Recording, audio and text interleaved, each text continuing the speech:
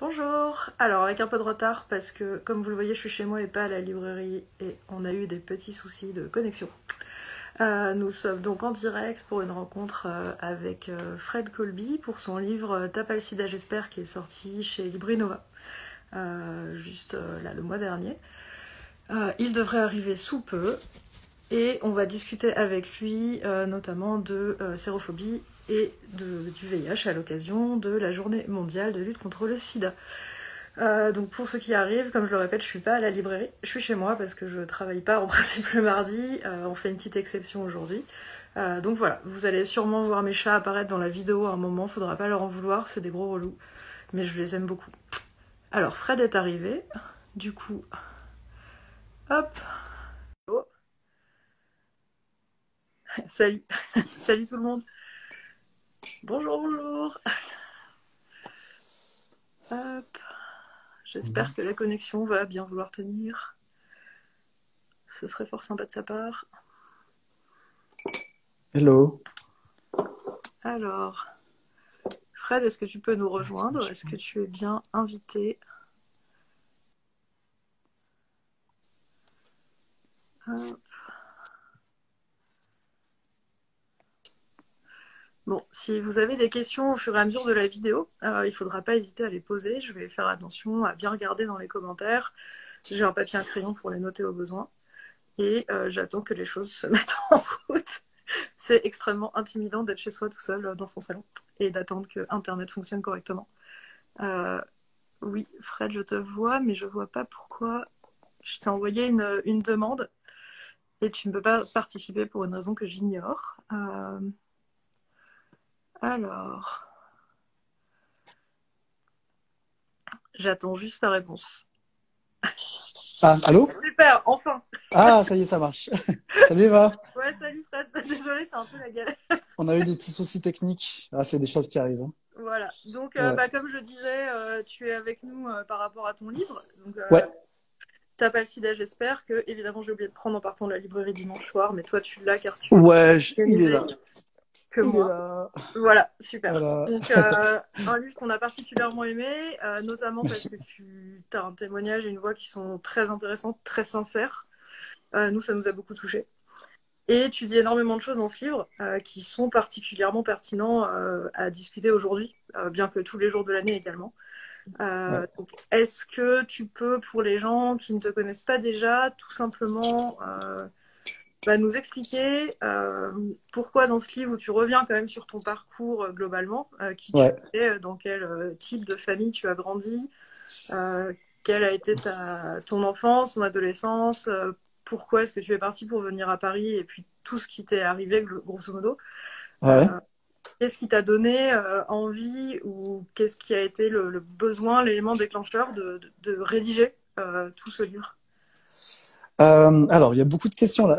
Ouais, pardon. Euh, non, mais c'est pas grave. Bah, en fait, moi, euh, je suis, euh, je suis un PD de province, donc euh, je viens d'une petite ville qui s'appelle Miramas, près de Marseille.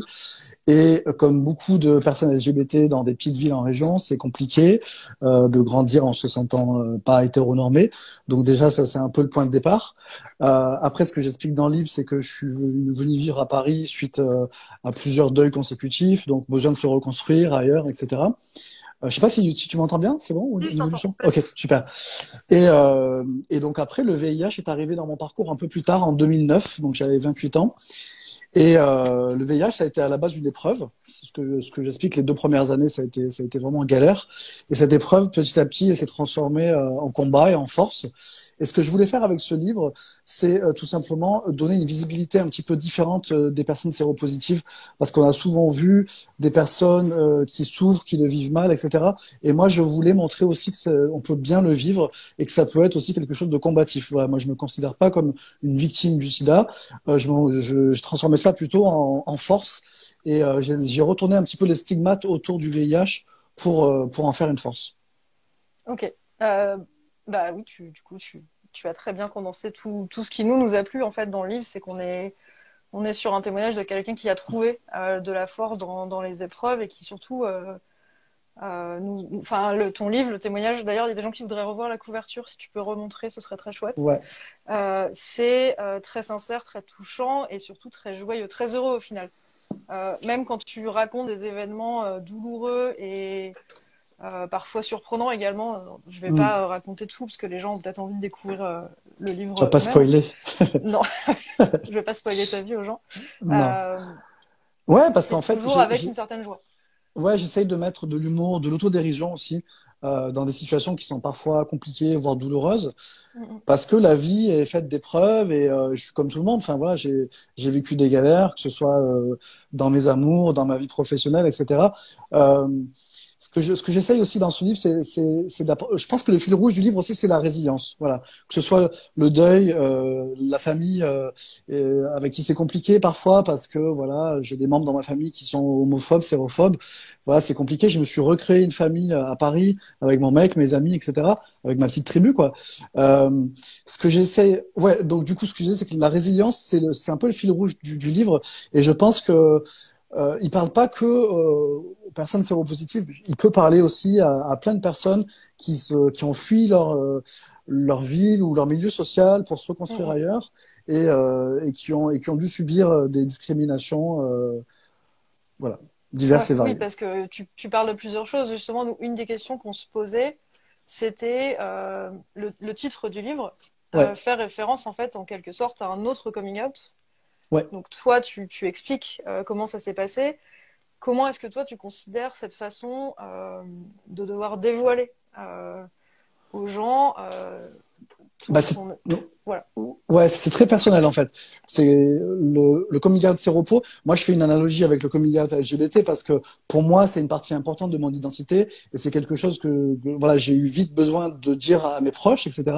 Après, il y a beaucoup de gens qui n'en parlent pas parce qu'ils ont peur du rejet et, euh, ils, ont, ils, ont, parfois raison parce que voilà, moi, le rejet, euh, la phrase du livre, en fait, t'appelles sida, j'espère, c'est une phrase que m'a prononcée quelqu'un de ma famille au moment où j'essayais d'annoncer que j'étais sur repos et j'avais du mal à le dire parce que c'était pas évident, je l'avais je l'avais pas encore digéré moi-même et, euh, et c'est ce que j'appelle la sérophobie ordinaire. C'est comme le, le, sexisme ordinaire ou le racisme ordinaire, c'est les petits mots du quotidien qui font mal et, euh, et voilà, c'est c'est souvent de l'ignorance tout simplement. Hein. La, la, personne qui m'a dit ça connaissait même pas la différence entre VIH et SIDA et, et du coup il y avait forcément euh, beaucoup d'ignorance derrière cette phrase. Et d'ailleurs, tu, tu, reviens au cours du livre sur euh, tout le caractère insidieux euh, de la sérophobie, donc et cette euh, crainte des personnes séropositives. Enfin, crainte, c'est un mot très faible. Ce rejet ouais, assez actif. tu en parles notamment pour, par rapport aux applications de rencontres. ouais. Tu en parles bah. sur les rencontres que tu peux vivre, sur le fait de devoir sans cesse en parler. Est-ce que tu as quelques mots à dire autour de ça? Ouais, bien sûr. Euh, j'ai créé avec mon ami Julien Ribeiro un compte Instagram qui s'appelle Séropo versus Grinder, qui déconstruit justement la sérophobie sur les applis de drague. Euh, on s'est euh, on s'est inspiré de personnes racisées versus Grinder. Pourquoi? Parce qu'en fait, la sérophobie Aujourd'hui, euh, ce qui est le plus compliqué, je pense, euh, c'est pas les traitements. Voilà, moi j'ai quatre cachets par semaine, j'ai peu d'effets indésirables et je suis en bonne santé. Ce qui est compliqué, c'est le c'est le regard de la société et même dans la communauté PD qui a été très touchée par euh, bah, par VIH/SIDA. Aujourd'hui, euh, il y a beaucoup de sérophobie, beaucoup de rejet euh, sur les applis de drague. on vous demande si vous êtes clean, ce qui veut dire propre en anglais. Ça sous-entend que les personnes séropos seraient sales. Euh, quand, quand, vous annoncez que vous êtes séropo, il y en a un sur deux qui, qui vous bloque, euh, etc. Et c'est ce qu'on montre en fait sur, sur ce compte Instagram. C'est euh, en fait, c'est encore beaucoup à faire au niveau de la pédagogie, même au sein de notre communauté. Oui, et toi, tu fais beaucoup en fait de pédagogie. Euh, c'est aussi des, ouais. un des axes de ton. Bah là, en ce moment, tu t'en fais beaucoup là, ces dernières 24 heures. Ouais, ouais. Là, après, euh... demain, demain, j'arrête parce que je suis en train de saturer, mais mais oui, bah oui, c'est la journée mondiale, donc ouais, forcément. Et, euh, et, tu parles, du coup, dans, dans ton livre, tu, tu, nous, tu nous relais cette expérience de, à la fois de ce rejet, mais aussi de comment ça t'a permis d'aller trouver une communauté d'entraide, une communauté de, de pédagogie, euh, ouais. d'accompagnement. Euh, Est-ce que tu pourrais nous parler un peu plus de, ce travail, en fait, qui est le tien, euh, et aussi des liens que tu as pu euh, y tisser? Ouais, bah en fait, moi, quand je suis arrivé à Paris, j'avais pas d'amis gays, j'étais assez euh, isolé, et mes seules sorties, c'était dans les saunas et les bordels, en fait. Et, en fait, le fait, moi, j'ai intégré l'association Aide en 2000, 2011, et c'est en rejoignant Aide que que je, que j'ai rencontré déjà des personnes qui partageaient les mêmes problématiques que moi, mais surtout les les mêmes valeurs. Et c'est chez Ed, par exemple, que j'ai rencontré ben, mon chéri, avec qui je suis depuis sept ans. Et, et en fait, je me suis rendu compte que voilà, quand on partage les mêmes valeurs, ça crée des liens et ça donne envie de s'investir encore plus. Et euh, effectivement, chez Aide, j'ai fait du dépistage rapide, j'ai animé des groupes de parole, j'ai fait de l'accompagnement PrEP à l'hôpital, j'ai euh, fait plein de trucs en fait.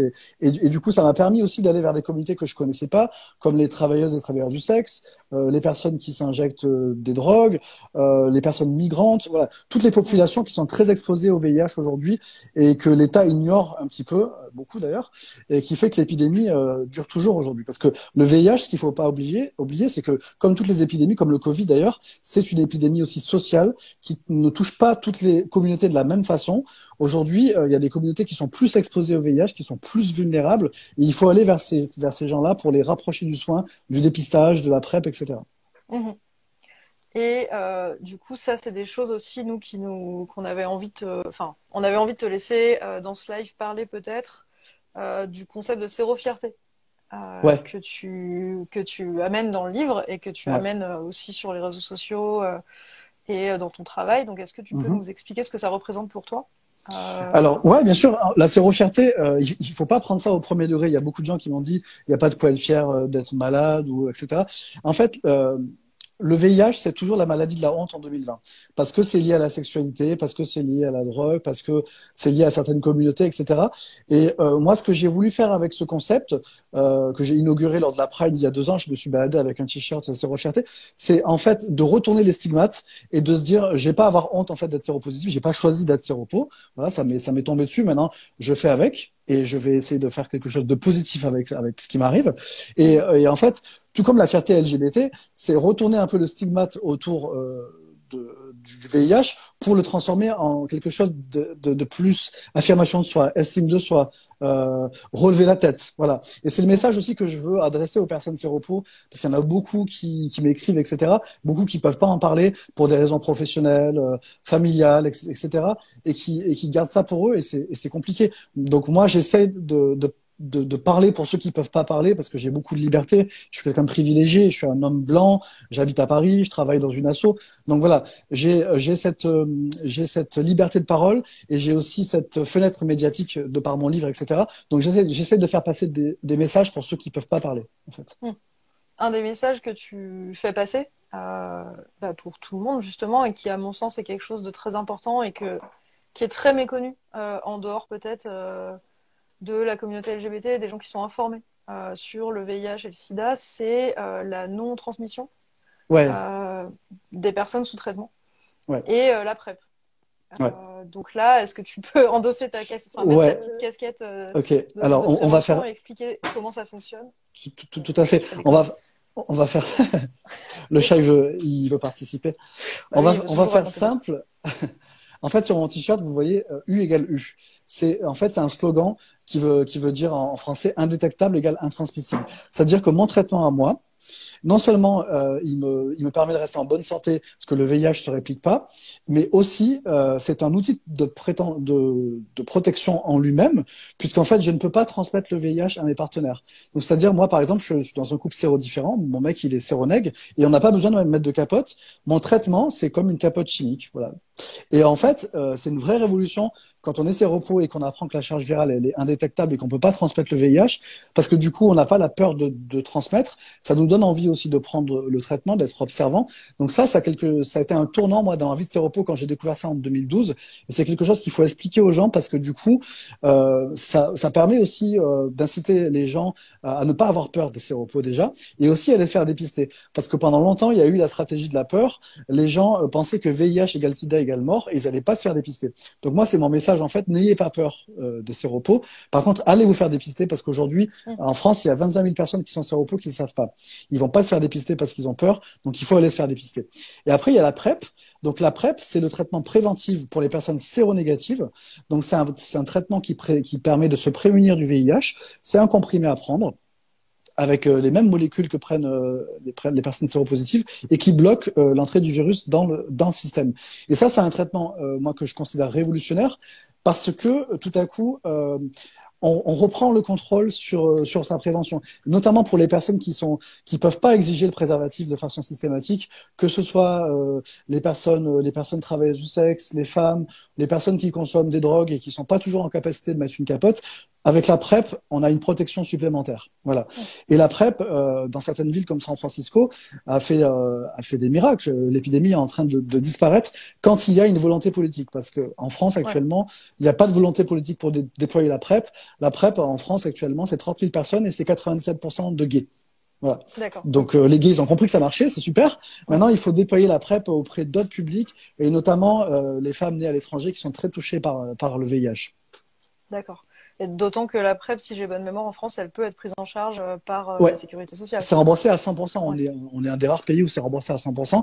Simplement, il n'y a pas de campagne nationale, il n'y a pas de volonté politique pour faire connaître la PrEP.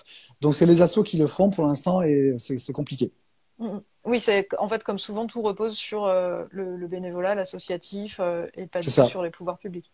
Il n'y a pas, il a pas d'engagement pour montrer une solution durable et efficace. Ben non, malheureusement. Alors, la bonne nouvelle, c'est que bientôt, euh, normalement au mois de janvier, la PrEP va être euh, accessible euh, en ville chez les médecins généralistes. Pour l'instant, elle est à l'hôpital et dans les centres de dépistage, ce qui facilite, ça facilite pas non plus le déploiement de la PrEP parce que mmh. on sait que c'est compliqué d'aller dans un centre de, de, dépistage, ils sont blindés, etc. Il y a toujours la queue. À partir du mois de janvier, votre médecin généraliste pourra prescrire la PrEP. Donc, si vous considérez que vous faites partie d'une population exposée au VIH, parce que vous êtes gay, parce que vous prenez des drogues, parce que vous êtes juste multipartenaire. Euh, N'hésitez pas à en parler à votre, à votre médecin. Euh, bon, beaucoup de médecins sont pas encore bien formés sur la PrEP, mais ça va venir, on va y arriver. Euh, vous pouvez vous aussi euh, informer votre, votre médecin et lui dire voilà, j'ai entendu parler de la PrEP, et euh, ça peut être aussi un échange. voilà. Et ce qui est intéressant avec la PrEP aussi, c'est que les personnes sous PrEP rentrent dans un circuit de santé sexuelle. Ça, c'est pas juste prendre un cachet, c'est dépistage IST, euh, donc tous les trois mois, vaccin hépatite A, hépatite B. On rentre dans un circuit, et ça, c'est super intéressant en termes de santé sexuelle globale, au-delà du VIH. Ouais. Oui, parce qu'en fait, c'est vu comme quelque chose qui fait partie d'un tout. Ouais. On fait attention à sa santé globalement. Et... Exactement. Et c'est pour ça que ça m'énerve quand les gens, euh, les anti-PrEP disent oui, mais euh, la PrEP, euh, c'est la porte ouverte à tout, c'est la fête du slip.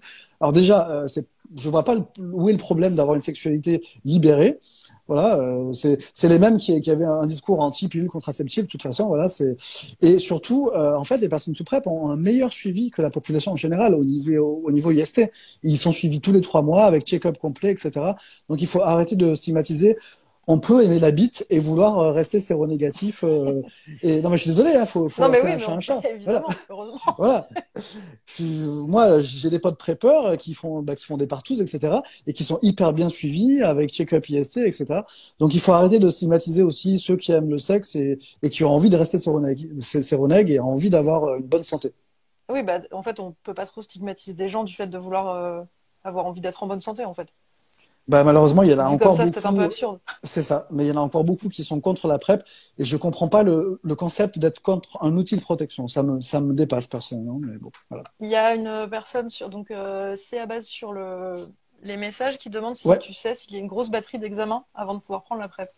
Non, bah déjà, euh, les examens ils sont basiques. Hein, c'est dépistage VIH-IST. Déjà, on va s'assurer que la personne est bien séronégative parce qu'il faudrait pas donner. Euh, voilà. Et après, euh, on surveille aussi la fonction rénale parce que voilà, c'est c'est quand même pas des bonbons qu'on prend. Donc ça peut, si on a des problèmes de rein, ça peut avoir une incidence. Mais voilà, il y a, y a, pas, il y a pas une batterie d'examen insurmontable. Hein. Mmh. Ok, mmh. bah, je pense que ça répond à la question. C'est un traitement, donc comme il y a un suivi, il y a des examens auparavant, c'est pas non plus. Ouais. Et puis ce qu'il faut savoir, c'est qu'on a du recul sur euh, la PrEP parce que c'est des molécules que prennent les, les séropos depuis plus de 20 ans. Donc on a on a du recul sur les effets indésirables. C'est pas un nouveau traitement qui vient d'arriver sur euh, sur le marché. Et en plus de ça, aujourd'hui, il y a des essais thérapeutiques sur la PrEP euh, en injection qui ont qui ont montré que ça marchait super bien et notamment chez les femmes. C'est-à-dire que l'avenir en fait de la PrEP et des traitements pour les séropos, ça va être une piqûre par mois, voire tous les deux mois. Donc il n'y a pas de vaccin pour le VIH aujourd'hui, mais la PrEP, c'est quand même quelque chose qui se rapproche le plus d'un vaccin. Et c'est ça, c'est assez révolutionnaire. Si on nous avait dit euh, il y a 20-30 ans qu'une piqûre par mois euh, permettrait d'être protégé du VIH, euh, enfin, c'est, je sais pas si les gens se rendent compte, mais c'est assez révolutionnaire. Ouais, oui, bah c'est oui, bah, la, prophylaxie quand c'est très, enfin, quand c'est bien mis en place, c'est assez incroyable. Ouais. Ok. Euh, alors, donc il y avait une personne qui demandait si la PrEP était exclusivement pour les hommes, donc je crois que tu as répondu à sa question. Non, c'est pour tout le monde. C'est pour toutes les personnes qui ont une sexualité euh, qui, qui les expose au VIH. C'est-à-dire, bon, je vais, je vais pas vous mentir, si vous êtes dans un couple euh, exclusif euh, et que vous avez le même partenaire toute, toute votre vie, c'est peut-être pas la peine de prendre la PrEP. Après, voilà, si, si vous estimez que, que vous avez que vous êtes à risque, que, que vous êtes multipartenaire, que parfois vous allez au sauna, en partouze, ou que parfois vous prenez des drogues et que vous avez peur la capote, si vous êtes travers du sexe ou travers du sexe, voilà, euh, la PrEP c'est pas pour tout le monde, c'est pour les publics exposés au VIH. Mhm.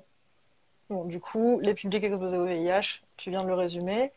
Euh, il y avait euh, un point que tu abordes dans ton livre également, et on s'écarte un peu euh, de la question du VIH, mais on reste dans la question de la prévention et des risques liés aux pratiques sexuelles, qui est la, question du chemsex.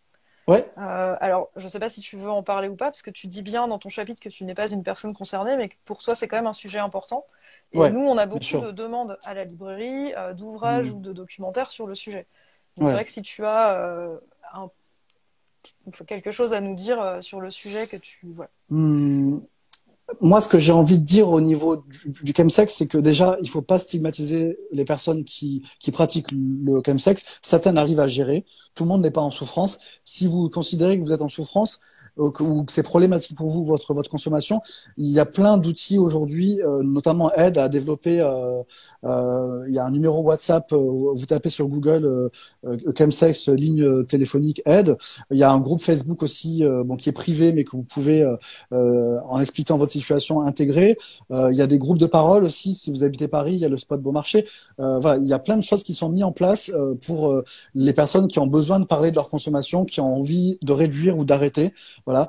Euh, moi, je parle plus de réduction des risques parce que chez Ed, on a une culture de la, de la réduction des risques. Euh, aujourd'hui, euh, on peut consommer et, et trouver des méthodes pour réduire les risques. Par exemple, doser votre consommation de, de GBL, etc. Mmh.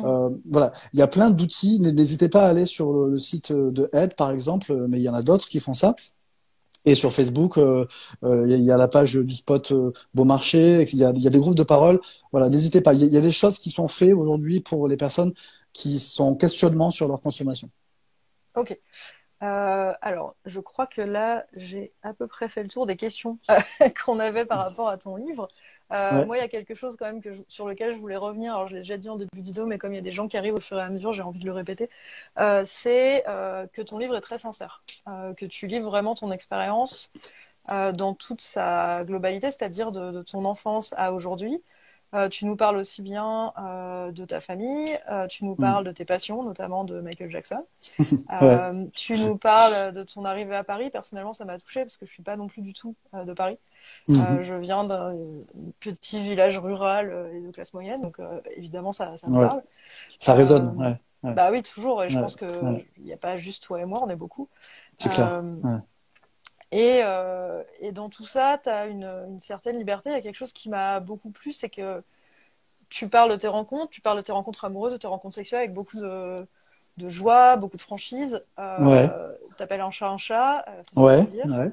Et il y a une chose qui m'a vraiment beaucoup touchée, c'est que tu parles beaucoup de tes ex avec qui tu es resté en contact. Mhm. Et je trouve que c'est quelque chose qu'on normalise pas assez, que ce soit dans les témoignages ou dans la fiction. Alors peut-être que c'est parce que j'ai un prisme de lecture particulier.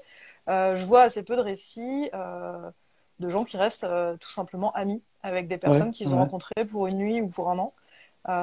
et je voulais savoir si toi, tu avais quelque chose à nous dire là-dessus, parce que c'est, à mon sens, quand ça arrive, quand on y arrive, c'est de très belles expériences et c'est des belles amitiés. et bah, ouais. Bien sûr. Mais moi, je fais partie des personnes qui pensent que, en fait, l'amour, c'est pas forcément quelque chose d'éternel. Je crois pas non plus en l'exclusivité sexuelle, et ça, je l'explique dans le livre. Enfin, le, schéma hétéronormé, j'y crois pas. Je pense qu'on peut vivre plusieurs histoires d'amour différentes selon sa vie. Et quand on a aimé quelqu'un et que ça s'est terminé de façon décente et respectueuse, je vois pas pourquoi on arrêterait de voir la personne. Moi, je suis resté en bon terme, pas avec tous mes ex, parce qu'il y avait quand même des comptes dans le lot, mais, mais avec pas mal d'ex, parce que, parce que je suis pas quelqu'un de drama déjà, et quand, et quand je sens que l'amour n'est plus là, je préfère qu'on s'arrête en bon terme et qu'on qu'on reste potes. Et puis après, je pense que c'est plus dans la culture euh, pédéguine, tu vois, d'avoir ce, ce truc un peu moins hétéronormé, la mhm. jalousie, la possession, quand c'est terminé, je veux plus jamais te voir, etc voilà, je pense que c'est plus dans notre culture à nous. Euh, après aussi, pour rebondir sur ce que tu disais, ouais, je, je parle de sexualité parfois de façon assez crue, voire euh, un peu impudique, mais c'était important pour moi parce que la sexualité, c'est quelque chose d'important dans ma vie, c'est quelque chose qui me rend heureux, et c'est et c'est c'est important aussi de.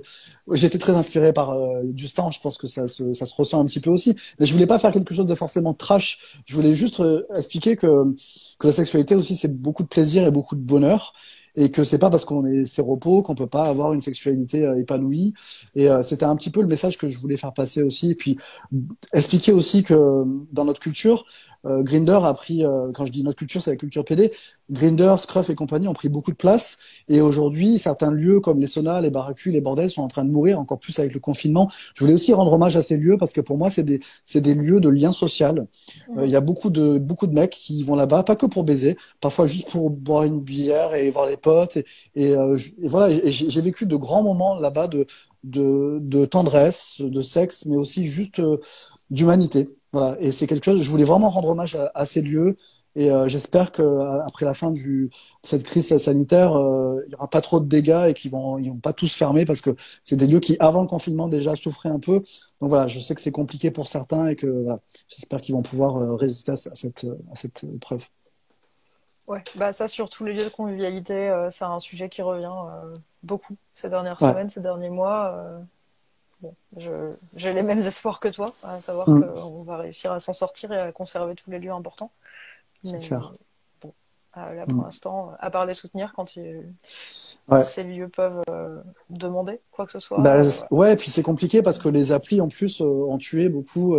voilà, les gens font des soirées privées, ils font des plans cul à droite à gauche, dans des... et en fait, on passe plus par ces lieux-là qui sont aussi des lieux de lien social importants pour notre communauté et notamment pour les mecs qui s'assument pas, qui sont qui sont mariés avec avec une femme et qui vont dans des lieux comme ça où c'est les seuls lieux où ils peuvent avoir une sexualité et c'est important que ces mm. lieux existent toujours. Oui, parce que ça mm. permet aussi de, de, faire les choses différemment, quoi. C'est ça que tu veux dire. Euh, ouais, ouais. Est-ce que c'est des lieux, parce que tu vois, on parlait. Euh, alors, ah oui, euh, il y a Sauvage, Sauvage Urbaine qui dit que c'est vraiment le vrai danger, c'est la fermeture du moment. Oui, parce qu'on imagine que ça, c'est, ça touche d'autant plus vite et d'autant plus directement sur, bah, sur les besoins des, des, lieux. Il y a Pink. Alors, on va peut-être commencer les questions, parce que je vois que les gens commencent à avoir pas mal de questions. Moi, j'ai à peu près, euh, voilà, je pense qu'on a vu ce qu'on a, enfin, tu vois ce que. Si tu as quelque chose à ajouter, toi, ou qui te semblait. Non, mais moi, je veux bien répondre aux questions. J'aime eh bien ben... l'exercice en plus. eh bien, allons-y. Donc, l'exercice, la première question, c'est Pink Flamingo qui nous demande si ton livre pourrait avoir une suite. C'est mon mec, ça, non? Pink Flamingo. Eh ben, c'est euh, possible, je connais pas les pseudos. Bah, bah, à moins qu'il y ait le même pseudo. Euh, c'est pas prévu pour l'instant, ce serait un peu prétentieux. Euh, après, peut-être dans quelques années, hein, mais déjà, j'estime que j'ai livré pas mal de choses, pas mal de messages dans, dans ce livre. Après, why not hein, dans quelques années, mais hum. déjà, j'ai envie de le faire vivre un peu. Ouais, c'est ça. Ouais.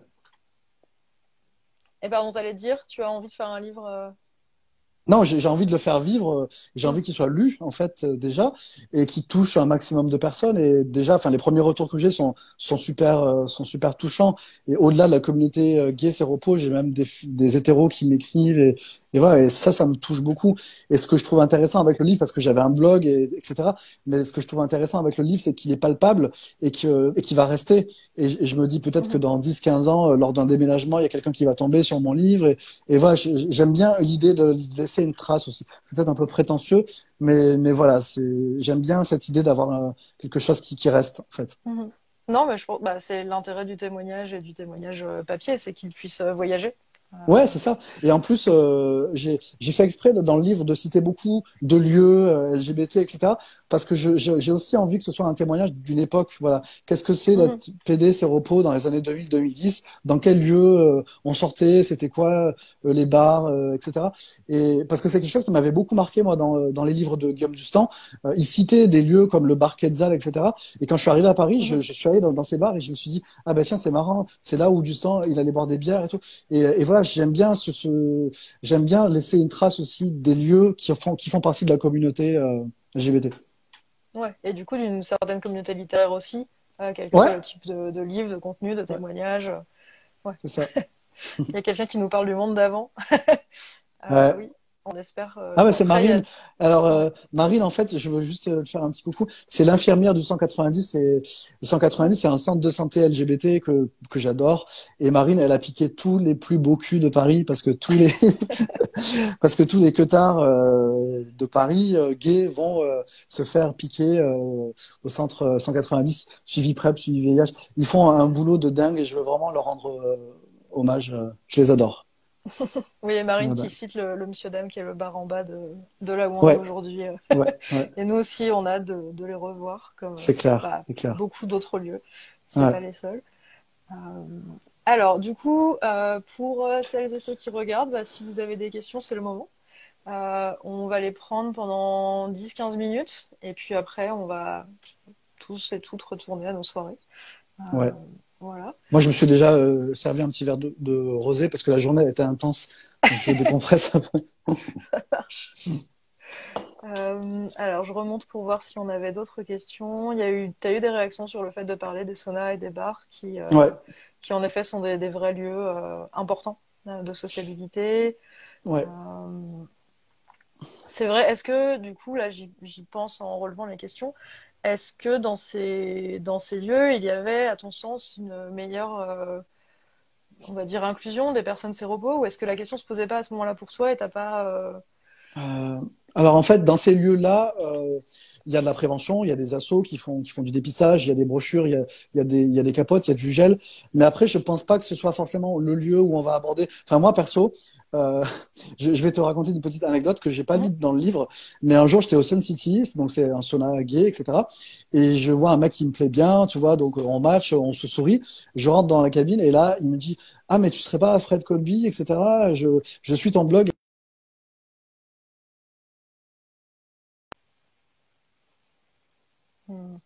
mais du coup, on n'a pas baisé, tu vois.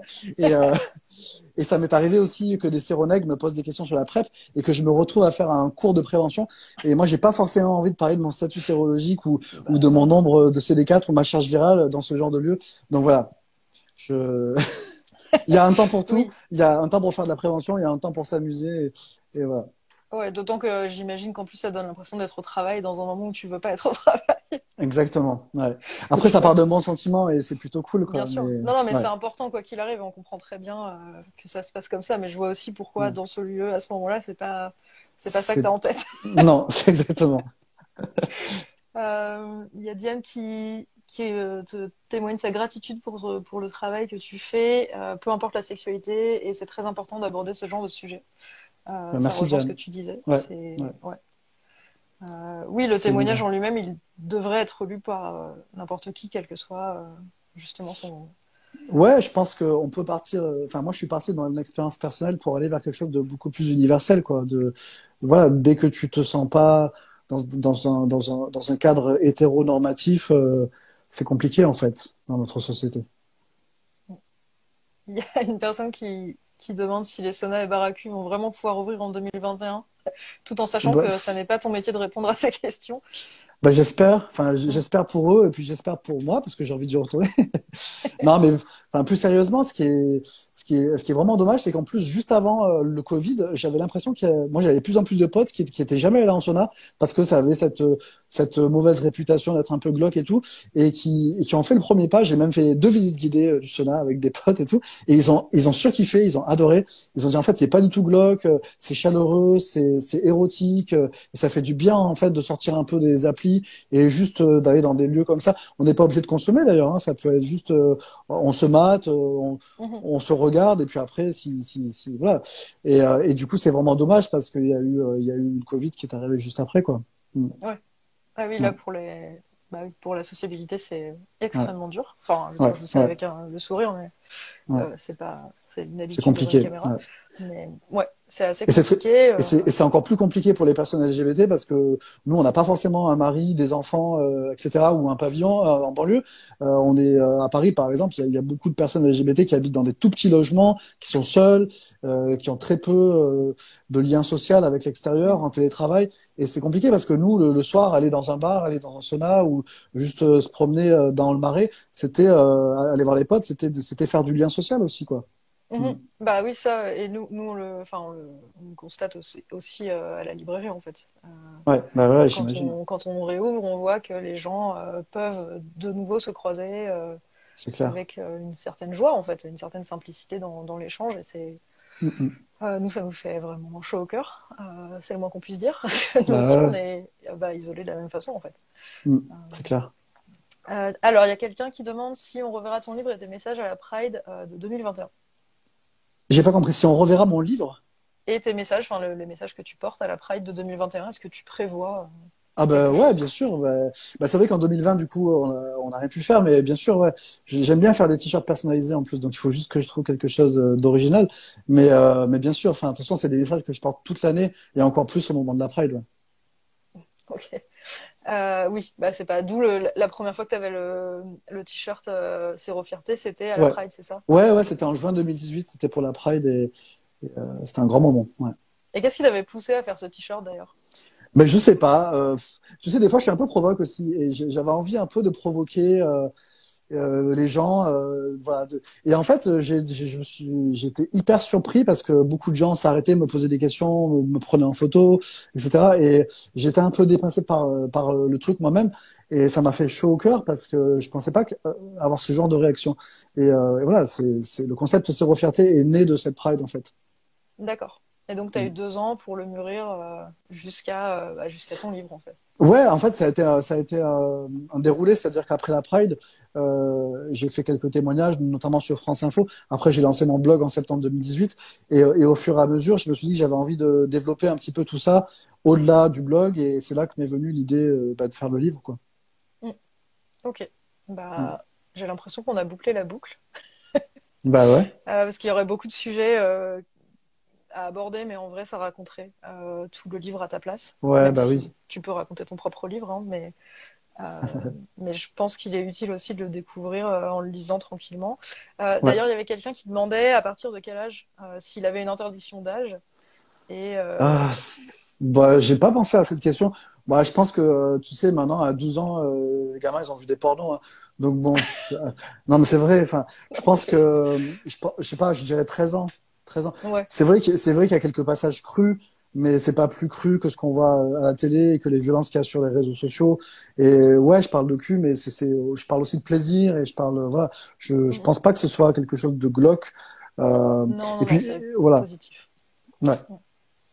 Euh, oui, moi je le recommanderais à l'adolescence et après, euh, si c'est pour offrir à Noël à, un, un, neveu ou une nièce par exemple, faire attention à expliquer aux parents parce que oui, oui, potentiellement, après on connaît chacun ou chacune sa famille, hein, mais euh, c'est ça. Mais oui, euh, le témoignage en lui-même est assez accessible et. Euh, bah, j'ai fait j'ai fait pas mal de notes aussi. Merci. Et j'ai fait pas mal de notes aussi pour expliquer certains termes du jargon LGBT, etc., pour que ce soit le plus accessible possible, justement. Mm. Mhm.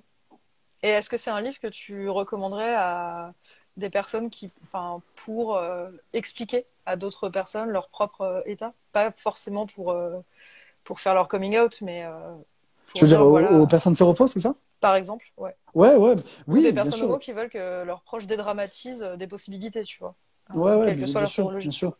Bah, ce livre, il s'adresse aussi aux personnes séropos parce que justement, c'est un message d'espoir et d'optimisme en fait. Et sans, sans spoiler la fin, simplement dire que je suis passé par, par des étapes qui sont très compliquées, euh, un peu un peu noires même, et je suis arrivé à, à quelque chose de, de, je pense, assez lumineux et positif. Et euh, c'est vraiment euh, un message d'espoir et, de résilience en fait pour les personnes vivant avec le VIH. Eh ben, bah, je crois que c'est une super euh, conclusion. on, est là pour euh, apporter de l'espoir en fait le plus possible ouais. à, à, à, tous et toutes, quelle que soit la difficulté des épreuves qu'on traverse ensemble en fait. Bah, tout à fait. Ouais. Et je voulais juste euh, bah, remercier les mots à la bouche parce que j'en parle un petit peu dans mon livre, mais voilà, c'est le premier lieu gay LGBT dans lequel je suis allé dans le Marais euh, quand j'avais 22 ans, c'était les mots à la bouche. J'avais pas d'amis, je venais juste d'arriver à Paris, je me baladais dans la rue et je suis rentré dans cette librairie et voilà, c'est vite, c'est un endroit qui est devenu euh, safe, chaleureux pour moi.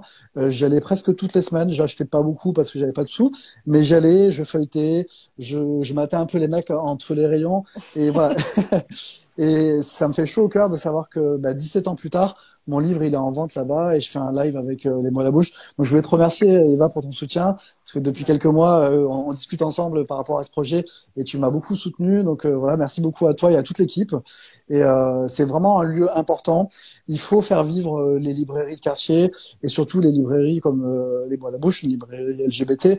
C'est hyper important. Soutenez vos, libraires, allez acheter sur place ou, ou commander et vous prenez voilà en, livraison, mais c'est hyper important et voilà, merci beaucoup pour ce soutien. Bah, merci, euh, merci à toi, merci à tout le monde, euh, aux 40 personnes qui sont passées, qui sont restées euh, et qui, bah, qui ont fait vivre ce live avec nous, en fait, avec vos questions, avec vos commentaires, avec vos super petits emojis aubergines. ah bah c'est mon mec là qui dit toutes et tous euh, envoie la bouche. Mais oui, venez. On a, on a rouvert. On est de nouveau là tous les jours de 11h à 20h. Euh, alors, pas en continu, comme vous le voyez, il hein, ne faut pas pousser. Mais... Bah non, c'est clair. Mais voilà, on est là, on a plein de livres, euh, on a plein de recommandations et on a, et on a ton livre.